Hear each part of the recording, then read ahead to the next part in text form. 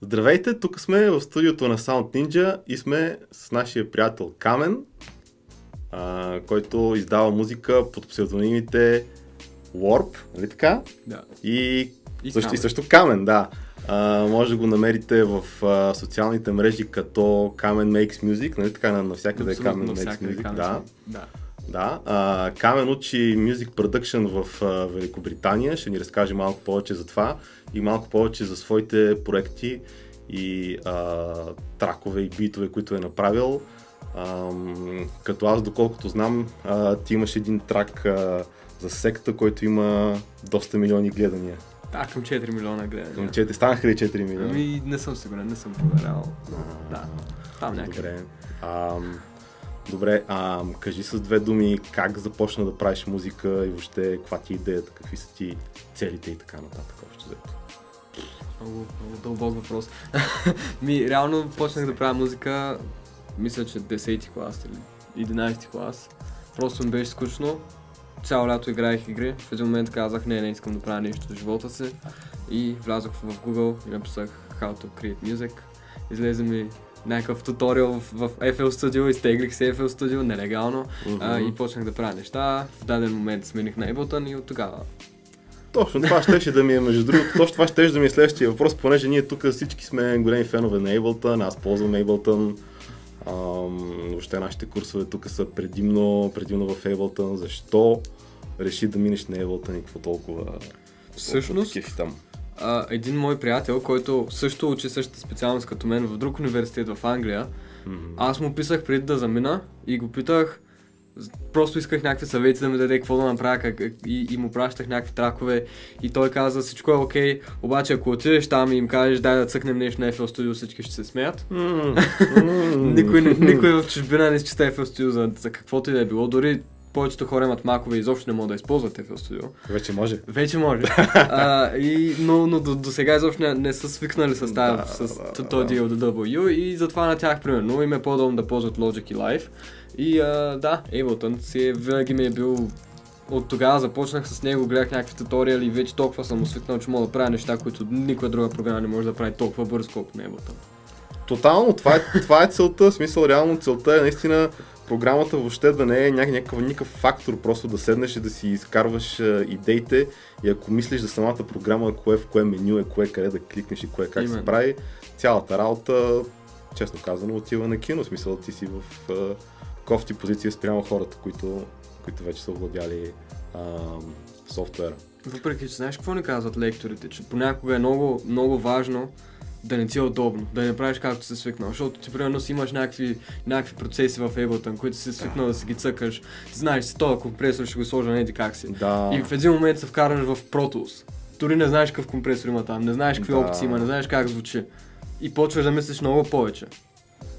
Да, т.е. идеята е в един момент да си излезеш извън комфортната да, зона. Именно, именно за това. А, абсолютно, те, абсолютно те разбирам, но това вече според мен е въжи, ако в един момент вече наистина си овладял някакъв DAW. Да. А, нали, повечето хора, които учат при нас, са начинаещи, не са още на този етап, но да, абсолютно човек трябва понякога нали, да разбута малко а, начина си на работа и да, да пробва нещо ново, за да стигне до някакъв интересен резултат. Ам, абсолютно. Ами добре, ти от колко, значи ти от известно време учиш в UK, в въпросния университет, който как се казваше? Фолмът University. Фолмът университет. Това къде точно се намира? В много юго-западна Англия. Много югозапад. На- буквално югозапад, югозапад, Много, много на, на, на Доста- юг и запад. Аха, югозападна Англия, добре. А, хубаво, защо се, как се спря точно на този университет? Защото аз знам, че а, нали, има доста реномирани места, които предлагат такова образование. Също знам, че и цените там са някакви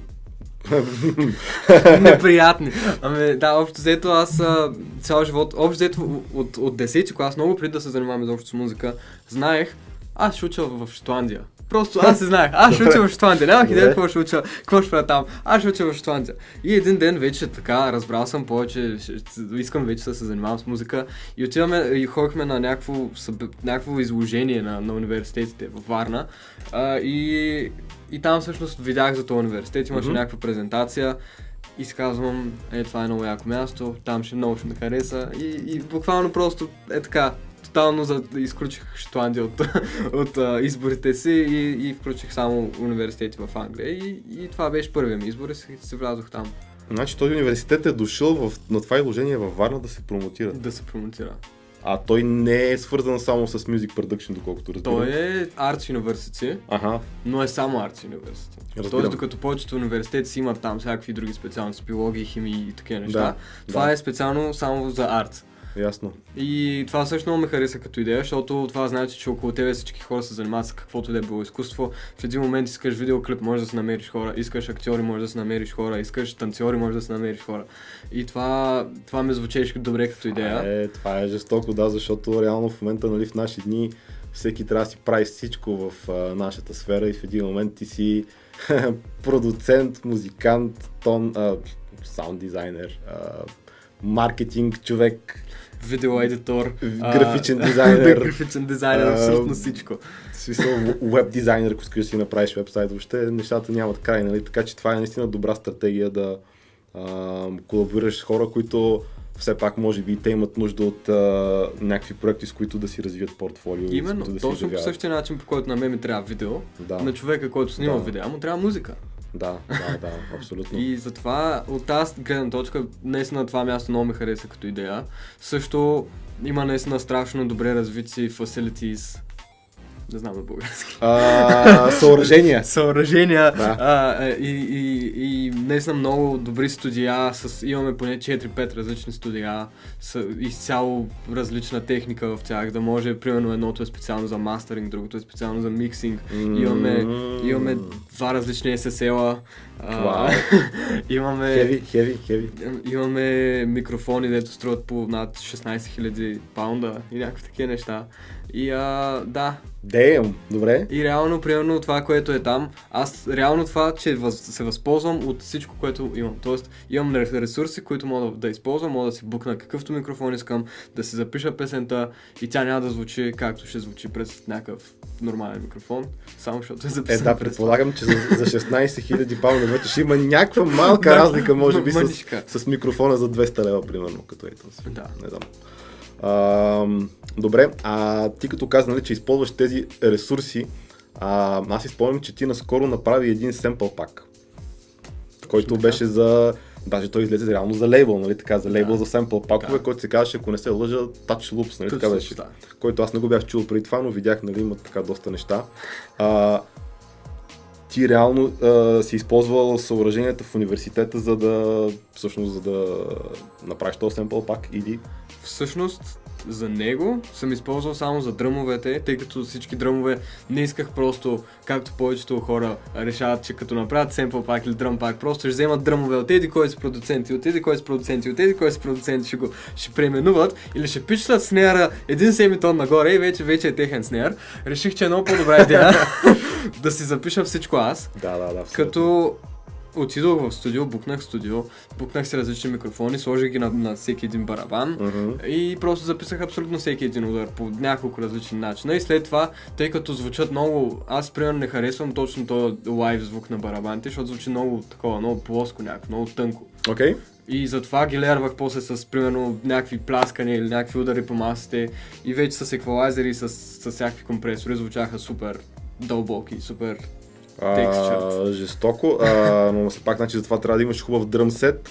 А, трябва да знаеш как да сетъпнеш микрофоните или те са сетъпнати вече там. Не, ти си ги сетъп. Ти си ги сетъпваш. А, и добре, и също така, нали, а, трябва все пак да имаш някаква идея какви звуци да създадеш, с какво тези звуци, нали, са реално, каква, каква стойност имат тези звуци, реално при положение, че има супер много семпъл пакове, нали, ти, е, Именно. е, реално е това за мен е, е най-трудното, как да измислиш нещо, което в крайна сметка, окей, не си го откраднал, не си го взел от някъде, обаче да го направиш нещо, което е а, твое си, това, това според мен е най-трудното, нали, аз така, Да.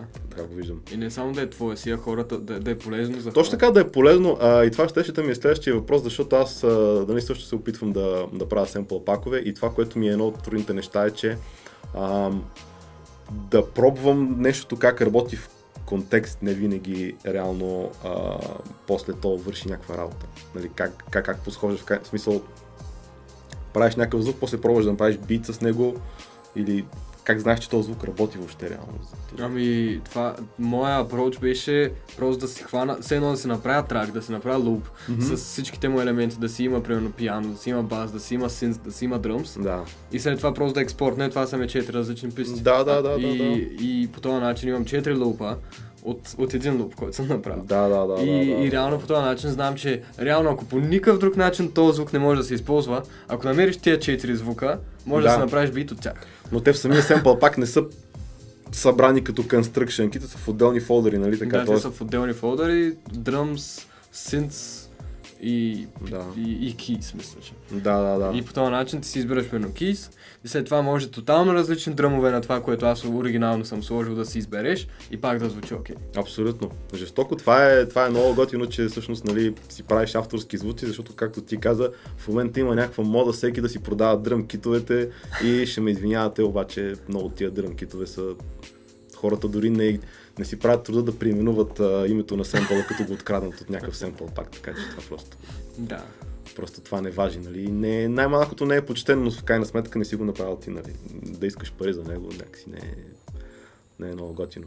А, добре. А, ние говорихме с теб преди, като се видяхме за реално за как се случват нещата, нали, в, чисто в обучението там. А, ти ми беше разказал, ако можеш сега да ми а, припомниш за ня- няколкото семестъра, които си взел до сега и въобще какво правите там и кое ти беше най-така интересно и полезно в а, Фалмат. Mm-hmm. така беше. Ами аз а, в момента съм трета година там и т.е. съм минал две години и винаги всяка година се разделят на два семестъра и всеки, всеки семестър си има по три модула. Мгм. Първа, първата година, първите ми три модула бяха StudioCraft, което е буквално абсолютно всичко от как звучат всички микрофони, как, каква разлика има между микрофона дали, е дали е надолу или Мгм. леко изкривен, до финал, фин- финализиране с миксинг и мастеринг и накрая изпитане беше да запишем песен, каквато песен ние решим, просто да е записана с поне 16 писти, мисля, че нещо такова. А, т.е. И- извинявай, че те прекъсвам, имат а, изискване да направиш определен брой писти. Да, за да може по този начин да не е просто да запишеш един вокал и отдолу да си имаш инструментал. И това Ага. да го наречеш песен, която си записал. Окей. Тоест искат да видят а, какви решения взимаш, а, ако имаш барабани, защо си сложил точно така Мгм. а, микрофоните, искат да видят реално, че си научил нещо. Мгм. И наистина искаха просто в края записана песен, миксирана. Дори не мастерирана, просто да имаш микс. А, втория ми модул, първия семестър, беше а, саунд дизайн, което не означава саунд дизайн, например, на мулк или на нещо, Мгм. а означава саунд дизайн в, в филм. Тоест Мгм. а, да заместваш, примерно ако има някакви звуци, пляскания и такива неща, това се снима от камера, която няма звук. Да, да. И да, ти трябва да, след това да, да, лернеш тези звуци, Да, да, звучат да. Да. натурално, да звучат Така, все така едно- нареченото фоли, нали, записваш, точно, а, фоли. записваш звуци от заобикалящия ни свят, обработваш ги, комбинираш ги и така създаваш звуците от филма реално. Именно, да. И там, примерно, изпита ни в края на семестъра беше, имаме отказ, избираме си ние отказ от филм или от анимация, от каквото искаш и след това заместваш абсолютно всички звуци. Това е страшно, между другото, това звучи не е никак лесно и е много добър опит. Много добър опит да направиш такова нещо, защото реално аз знам, че нали, наистина така едно от високите нива в, в композицията и в саунд дизайна, това е да можеш да направиш нещо по картина или по зададено задание, нали, то е много готино да си правиш битове и тракове, нали, да си така, да се себе изразяваш артистично, обаче като ти кажат направи това нещо да подхожда на тая сцена, е, това не всеки може да го направи. Именно, именно. Но това е вече, примерно ако е музика, това е, това учихме втората година, втория семестър. Окей, окей, Ще стигнем там. окей. А, продължаваме. А, имах още един модул първия семестър, първата година. Той се казваше нещо от сорта на Critical Music Thinking, а, някакви такива неща. И общо ето, всяка година, всеки семестър трябва да имаш есе. Защото по този начин а, това е академично, все пак това е нещо академично Да, и не може, да, трябва да пишеш, не може абсолютно всичко да е някаква практика. Мгм. И там, примерно, трябваше просто да си избереш някаква тема, имаш някакви, изб... а, някакви неща и да пишеш есета. Както и да е, това е най... не, не, най-безполезното и ненужното разбирам, нещо. Разбирам. А, втория семестър, първата година, имах един модул, който се занимавахме с а, саунд дизайн, но вече саунд дизайна, който всички познаваме, с примерно на Serum и на такива неща. М. Само, че още по-дълбоко влизахме в Max. Не знам дали знаеш кой е Max. Абсолютно знам, абсолютно знам какво е Макс, но не съм навлизал никак, никак дълбоко в него. Ами, да, реално програма, в която си програмираш TVST-тата. Все едно да си китарист и да си изковеш китарата. Нали? Именно, именно. И там този модул всички го мразехме, защото беше страшно сложно и никой не разбираше за какво става. Просто все едно просто да си програмист и да правиш музика. Да, Което да. е много трудно и много сложно и не всеки човек може да го свикне, да, да му свикне на идеята. Мисля, че от цялата ни група, които бяхме тогава, около 45 човека, един човек само му хареса Вау. и продължава да го прави. това е, това е the huge nerd, това е големия нърд, нали? Именно, смисъл, именно, да, да. То е нормално от една група хора да има, може би съвсем малко хора, които наистина биха тръгнали в тая насока. Аз също ползвам от време на време някакви от Max for Life устройствата. Той Max вече е интегриран Да, в Ableton да. от версия 10. А, но никога не съм си помислил да си направя собствени устройства. А, за сега ми върши работа, нали, това, което има готово, нали, са доста интересни неща, но да, това да си правиш собствени инструменти и плагини, това е next level. Това е next level и а, честно казано това би, поне за мен и може би за повечето хора, би отнело фокуса от това реално да правиш музика, защото това си е, Да, така е. супер много работа. Но и в същото време представи си какви възможности имаш.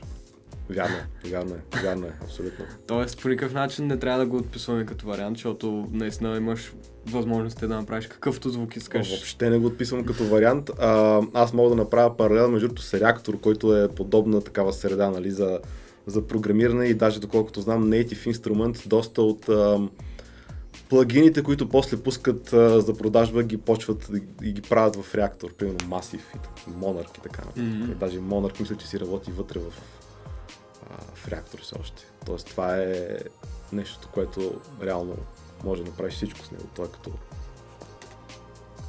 бяло платно. Да, Защото да, всичко може да направиш. Ясно. Добре. След А, това, след това какво стана? Имахме още два модула, които повече се фокусираха върху лайв перформанс. Тоест, единия модул имаш, имаш, може да си избереш от много различни ансамбли, като примерно ансамбъл може да е improvisation ансамбъл, в който абсолютно всеки с какъвто инструмент се отиде, просто импровизират някакви неща Мгм. и трябва това цялото да звучи като нещо все пак. Имаше, има ансамбли по китари, има ансамбли по, по а, ударни инструменти, перкъшън, всякакви такива неща. Аз първата година си избрах а, лаптоп ансамбъл, тъй като, Лаптоп тъй ансамбъл. като ми звучеше, Да живее, много, да живее лаптоп ансамбъла. Много така. странно ме звучеше и в началото нашата лекторка имаше идеята да ни свърже през още една програма, която кодираш и по този начин правиш музика, но М. може да се включат много компютри и да кодират едновременно и да създават някаква музика, обаче то е много за такова техно амбиент. Това да не е свързано с така наречената генеративна музика, Именно. която, да, която в момента това е доста популярно в по-нърд средите, нали? Хората реално да правят неща, които правят музика по определени параметри Точно. и с определени възможности. Дори Ableton наскоро, между другото, пуснаха един expansion пак, за който има Suite версията, който пак е. Max for Life пак, който се казваше нещо Possibilities беше, не съм много сигурен. Миналата седмица го пуснаха, аз вече се обърках, защото сега есен и излезе супер много гир, супер много О, неща да. излязоха последните 2-3 седмици, защото компаниите бързат нали, да извадят нещата за Black Friday и за коледа, нали, защото сега почва голямото а, пазаруване, но Dialton дори пуснаха такъв пак, още не съм го пробвал. А, това звучи супер, супер лудница. И как се получи цялата и работа? така де. А, просто в един момент видяхме, че това няма да се получи като вариант. Окей, И, окей. и това, което правихме, всеки се отваря какъвто му е DAW-то Мгм. а, и просто казваме си някакво темпо, отваряме един скайп чат, абсолютно всички сме там Мгм. и започваме, примерно някой слага кик и всички отгоре, примерно някой почва да свири някакви неща, някой почва да, да, да някой слага клап, някой слага и звучеше много яко и след това в даден момент, примерно казваме, добре, сега ще го забавим, сега ще направим тотална различна версия, сега ще направим а- а- ambient music, тук няма да има дръмове изобщо, Мгм, сега тук ще мгм. направим трап, ще си направим хаос. И наистина, примерно за 20 минути си правихме някакви много яки сешени, в които просто е така може да правиш каквото си искаш, някакви хора пускаха мимове от интернет, някакви буквално всичко се случваше и беше много забавно, наистина. А, и третия модул, тогава си бях избрал а, курсове по диджейнг, защото аз до този момент изобщо не, не се бях а, захванал с диджейнг по никакъв начин. а, и исках да видя да, на най-бейсик нещата да науча за това. И оттам мога да, да смесвам, примерно, хаус мюзик и така На нататък. какво те учиха да пускаш А. на какъв, на грамофони? Да, на трактор. На трактор, т.е. така наречения DVS сетъп с а, грамофони, контрол винил и софтуер. Да. Тоест но зареждаш музиката на компютъра и я контролираш от, От, от това, да. от от това, да. трактора. Ми на мен е този сетъп, честно казано, не, готин е, ако си, готин е този сетъп, ако си свикнал да работиш с винил, ако имаш голяма винил колекция и като цяло си човек на винила, обаче искаш да минеш на дигиталните а, технологии, които нали, ти дават възможност да включваш повече парчета в сета, по-удобно е и така нататък. Обаче, ако те първа почваш да се учиш, а, цялото това нещо с грамофоните, то е много готино, много приятно между другото, много готино се работи на такъв сетъп. Ам, обаче целия, цялата разправия за това нещо, не знам дали си заслужава, като си ми пред, че с един обикновен контролер може да постигнеш горе-долу същото. Да, така е. същото. Но ние тук също предлагаме такива, а, такива курсове, с които се работи на всякакви видове сетъпи, така че а, това не е нищо лошо. А, да, ти беше споменал, че искаш да се занимаваш с диджейнг по принцип. Аз искам да, да се науча. Искам, искам да мога в даден момент да си пускам собствената музика и да има логика как я пускам, да си направя сет, който да не е просто някакъв рандом, тук моята песен, тук друга песен. А наистина, ако ме се наложи, тъй като всички знаем, че няма как, ако сме продуценти, да изкарваме, музика, да изкарваме пари от продажби на музика, Абе има как, ама но не за... Да. примерно от албуми и такива неща. Всичко, Трудно, а, всичко трудно. се случва на, на лайв по турнията и всякакви такива неща. В даден момент М. ще ми се наложи със сигурност, ако искам да се занимавам с това, да, да мога да се перформвам по някакъв начин музика. И единият ми е. вариант е точно през лайв с, е. с лаунчпадовете. Другия ми вариант е това. С, Така с е. DJ сетове. Така е. Ами едното, те и двете си имат предимства. С DJ сетовете имаш по-малка подготовка, можеш да ползваш, нали, съответно, всякаква музика, нали, т.е. Не, не, не, твърдиш, че е авторски сет, нали, можеш да си пускаш всякакви такове, т.е. това е нещо, което чисто като съотношение време прекарано в подготовка за плащане, нали, което също е важно, е добре, нали, защото за авторски лайв сет просто времето, което ти отнема да го подготвиш е несъизмеримо по-голямо, а лошото е, че много често заплащането накрая ще е същото. именно, именно. Нали, така че и двете са готини, но да, разбирам те на къде си се... Да. И така, де, затова исках да науча там най-бейсик нещата, дори да не е в стила, в който аз се занимавам. Главно да хвана идеята как се, как се смесват неща, Да, за да мога да, в да. даден момент да продължа. А, втората година, първия семестър, втората година вече можехме да си, разбира, да си избираме от, а, примерно имаме един модул, който е избираем и ти можеш да си избереш от няколко различни. Аз за първия семестър си избрах нещо свързано с продъкшн, не мога точно да се сетя как се казваше. Мисля, че точно Supersonic се казва, като трака на М. Supersonic. А, Да, да, и, да, а, и в този Supersonic модул, всяка седмица разглеждахме различна тематика и идея. Тоест, примерно, едната седмица разглеждахме ambient music и как а, всъщност може да звучи окей, т.е. да не е просто шум, да не е просто Абсолютно. рандом нещо, Абсолютно. което хората не осъзнават какво е. И примерно следващата седмица ни казват, сега направете парче, което да е ambient music. Така. След това следващата седмица се занимавахме с а, микроструктури, т.е. неща, които са на много дребни нива и реални неща, които са страшно детайлни и, и, и не даваха, нали, пускаха ни някакви различни а, тракове, които по различен начин се променят на микроструктура и примерно през цялото време нещо се променя, а не Мгм. просто същите, същите 8 бара луп през цялото време. Окей? А, и след това ни казват, направете такъв трак. След това имахме ремикс да правим. И ни даха, обаче за ремикса не може примерно да вземеш песен на Eminem и да я ремикснеш, ще Аха. трябва да е песен или твоя авторска, или на някой твой съученик авторска песен, защото авторски права нямаше как по друг начин Да, да, се да, случат да, нещата. логично, логично.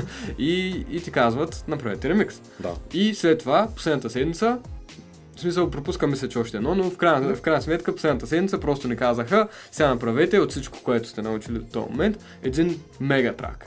И И- ти и направи оттам- този трак Супер Соник, Оттам който... идва Supersonic моят трак, да. Да, който спомням, че ти ми го прати преди така доста време, доста, Доста, се, доста доста се впечатлих, да, ти явно си беше положил така доста усилия за него. За него Защото там постоянно се случваха някакви неща, някакви звуци излизат от тук там. е, Именно беше- за него се бях затворил три дни в стаята си, буквално не излизах. Докато не, не направя нещо, което да е грандиозно и със сигурност повече такъв трак и да искам не мога да направя. Е. А, Е, просто твърде много, твърде много усилия за, за такъв трак. да, А, това беше един модул изобщо не мога да се сетя с другите два, но за момента ще казвам най- най-интересните. Да, бе, да. А, и също много интересен модул, който имахме, беше Music for Moving Image, Мгм. което имахме два различни асайнмента за него. Единият асайнмент беше да направим музика за реклама. Така. Имаш 30, минутна реклама, а, 30 секундна реклама, ти си избираш каква да е тя и правиш музика за нея. Мгм. Което може да е много челендж, може, защото в рекламите, примерно, особено ако ти си избираш реклама, която е била кътната на друга музика, следователно тия кътове, трябва някак да ги, да ги алайнеш после на твоя, на твоя трак. Да, да има логично. някакъв смисъл как се Логично, как да, защото видео реално много често се монтира в ритъма на музиката и та, така се правят преходите между отделните сцени. Именно, да. именно. И ако е монтирано вече, ти трябва някак с това да е, да е смислено и на твоя трак. Абсолютно. Звучи доста предизвикателно. А, но това също е едно реално доста полезно умение, от което също могат да се изкарват някакви реални пари, защото рекламната индустрия е доста, доста сериозна. И, Огромни пари могат и да не е като, това. да, не е като, не е като ентертеймент индустрията, нали, там. Да, абсолютно. Да, е това. и- Значи, готиното е, че те подготвят нали, за някакви неща, които наистина са практически. Аз доколкото разбирам, има неща, които са така по-академични или по-артистични и абстрактни, но има неща, които са наистина ценно умение, което, Да. кое, което се търси. Нали? Именно. Е, А, и втората част от този модул беше да направим, избираме се, мисля, че 7 минути от, от какъвто филм се реши да си изберем ние Мгм. и да направим музика за него. 7 минути е доста между другото. Много е. Страшно Да, много е. звучи ми доста. А филмите са по час и половина. Да. Представи си колко, Да, да, колко да, музика се абсолютно, прави за това. абсолютно. Като там вече не е като по рекламите. Там първо се кътва филма и след това ти дават на тебе. Да. да, Там, да, примерно, да, да, доколкото да, да. знам, на композиторите им дават нещо от сорта на две седмици да композират цялата, цялата музика за филмите. Да, да, аз знам, че хората, които работят в такива индустрии, а, реално това с дедлайните е доста сериозен, доста сериозен момент и, и няма как да няма как да си нарушиш крайните срокове, защото става дума за някакъв огромен проект, от който зависи, много хора зависят от това. И, Именно. и просто да. А, и, и там реално е много челенджинг. Наистина, защото там имаш там имаш много кътове и трябва да си избереш точно кой кът е най-добре да си сложиш там, да имаш по някакъв начин това да, се, да, да, да има смисъл с музиката ти и, и да, да звучи, т.е. музиката да не е главния фокус, тя просто да помага на Да, на, да, да, на т.е. тя да подсилва въздействието на, на сцената и реално много хора сигурно сте забелязали, че във филмите реално музиката, поне според мен, ако не е да кажа, че е най-важното нещо за настроението в една сцена, пробвайте да вземете един филм, страшен или криминален филм, да сложите някаква весела музика и ще видите, че губи се абсолютно атмосферата. Определено, Огромно да. значение има музиката, така че абсолютно да. И да, реално не се сещам за нещо по-интересно от тия, Супер. които, които говорих, но идеята според мен е, че в края, в края на моето образование аз имам вече едно портфолио. Имам едни неща, Да. които по никакъв начин на мен няма да ми хрумне като се стоя в нас. Нека избера 7 минути от някакъв филм и да направим Да, музика. да, да, абсолютно. Тоест ти не само че учиш някакви неща, а и времето се използва, нали, така по по-рационално за практически неща, които после ти остават, нали. Тоест ти те 4 години не си просто а, чел и писал, ами си имаш вече продукция, нали, която Именно. а, ти дава възможност да си осигуриш други ан- ангажименти, нали. Който е идеята. Абсолютно. Ми добре, аз знам, че ти а, нали, пускаш си свои авторски неща, нали. А, всъщност, а, освен, ще говорим след малко нали, за инструменталите, които правиш за някои а, изпълнители, но ти реално през тази година пусна 4 албума, ако не се лъжа. Да, да. Общо четири. взето, което а, беше така, доколкото забелязах, някаква такава концепция с 4 сезона, нали. Тоест, ако го броим, защото Рейн излезе миналата година. Няма значение, в последните 12 месеца, да кажем. Тогава са 5. Е, добре. Общо ето, пуснах четирите а, сезона и в същото време пуснах един, един тейп, който е само в YouTube канала ми, в SoundCloud. А, да, верно, SoundCloud, верно, че пусна който, такъв, да. който е просто Throwaways и така. Throwaways, верно, че имаше Throwaways тейп, да. Който просто са, са тракове, които звучат окей, но нямаше как да се включат в Да, да, да, Но разбирам. иначе, реално, когато направих Рейн, мисля, че ноември месец, или Мгм. да, 20 ноември, нещо такова, излезе. И а, аз, а, това просто наистина бяха битове, които съм правил цялата година Мгм. и са били някакви тракове, които аз не чувам рапър отгоре. Окей, окей. И, и никой рапър не се чува. Аз, никога- аз върху моите тракове никога не чувам рапа отгоре, но това е отделен въпрос. Така. И, И, просто си казах, добре, единия вариант е тия неща да стоят на хард диска ми, никой никога да не ги чуе. чуе. Другия вариант е да ги познато пусна... ми, познато. познато. Другия вариант е да ги пусна в SoundCloud или в някаква, някаква платформа за продаване на битове, като се надявам, че някой някъде ще ги чуе и ще, ще ги купи. Окей. Третия вариант беше, добре, от тук нататък ще релизвам м- музика с мое име, а, просто като, като, примерно, като Knowledge, като Madlib, като всички тия продуценти, които, Добри влияния. Добри които влияния. просто се релизват музика и евентуално там нататък, в даден момент, в който някой с, с, с, с, с, с някой продуцент или с някой рапър или артист искам да работя, Да. просто мога да им кажа, така и така, пиш, пишете камери в Spotify, излиза в моята музика, може да чуете някакви неща.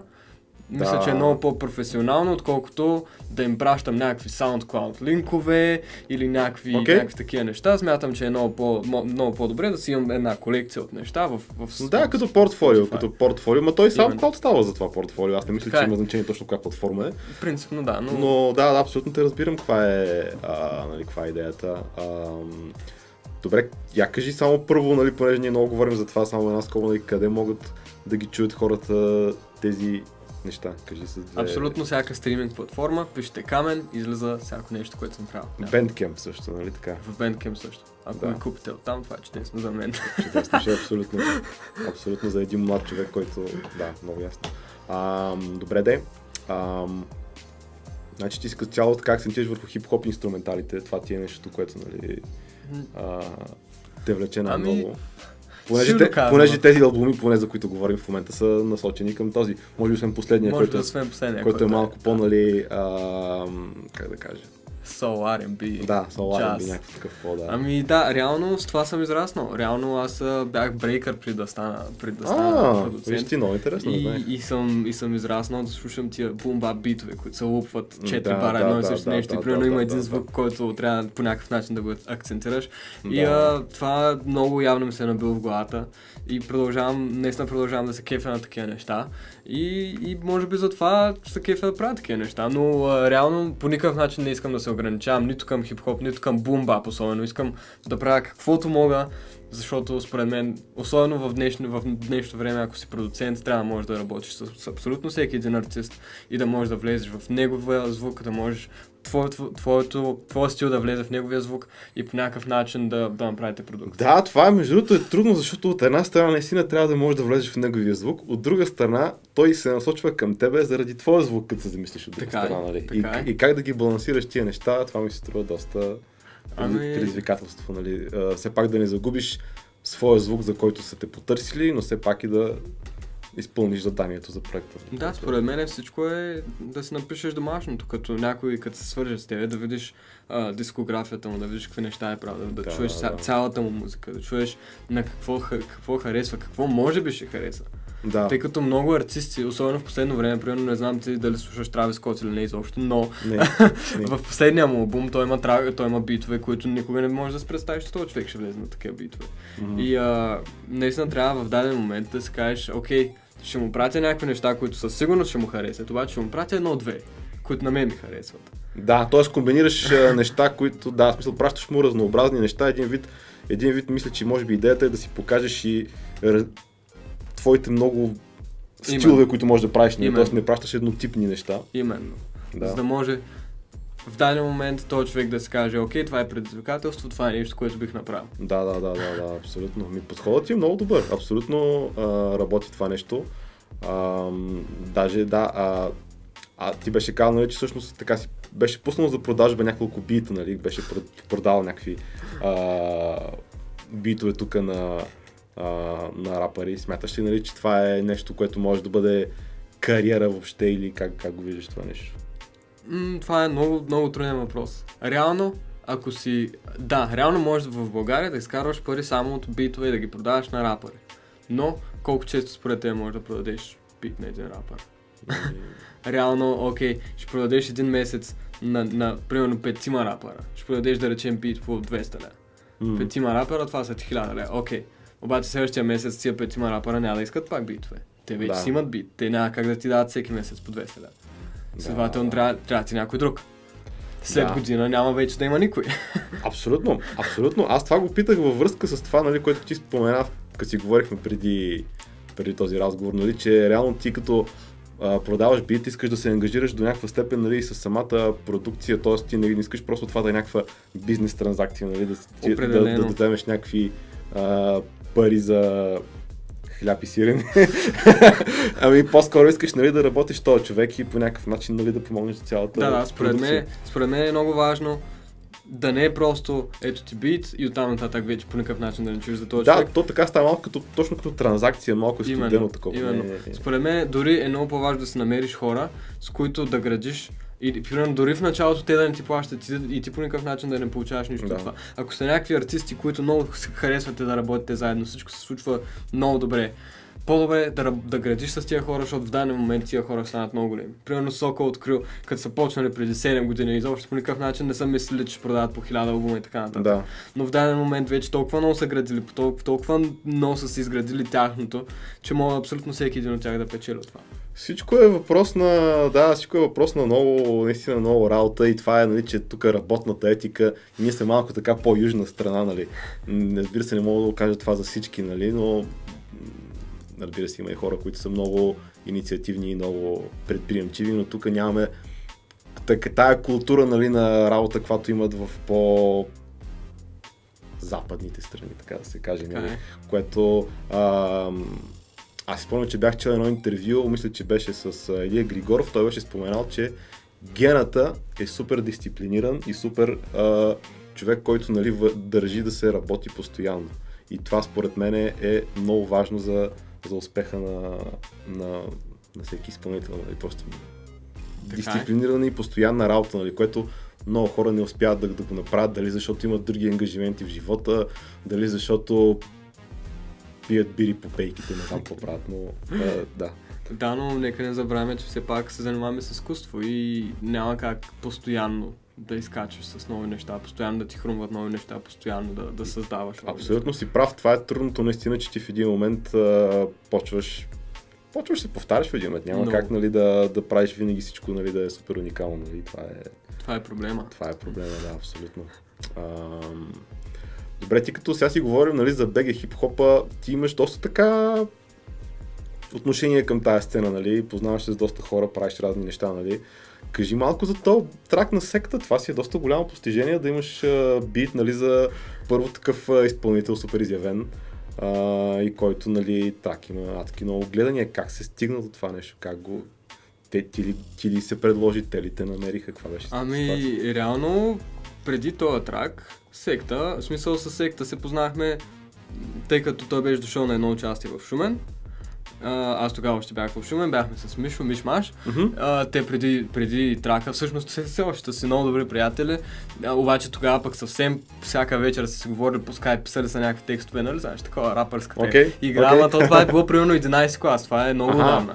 Е, И, и просто в един момент, точно след това участие, аз до този момент изобщо не бях чувал кой е, изобщо по никакъв начин не, не знаех за него. Да. А, това беше участие, всъщност мисля, че и с Маци. Тогава беше дошъл в... А, да, в Шумен бяха дошли с, с, с, гри- с, а, гената и бяха, бяха правили промо на, на Удар. Okay. колко давно е било. Окей.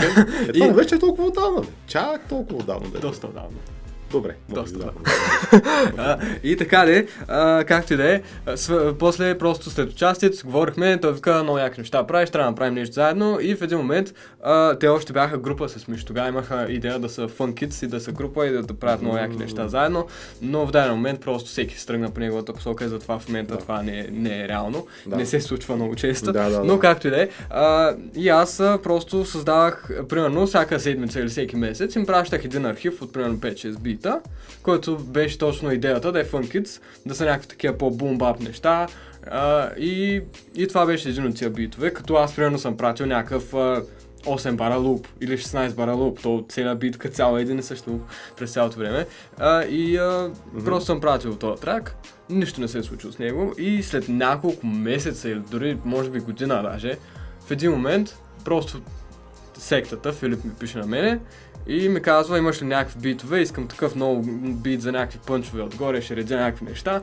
И аз му пращам същия бит. да, да, да. Тъй като Абсолютно. аз много мразя да, нямам неизползване, да, да имам неизползвани битове. Искам Окей. абсолютно всичко, което е създадено от мен, или да се чуе, или да се изтрие, защото Това е много добро. Това е много добро. няма причина Ева. да, да стои. Ева. Никой няма да го чуе, ако стои.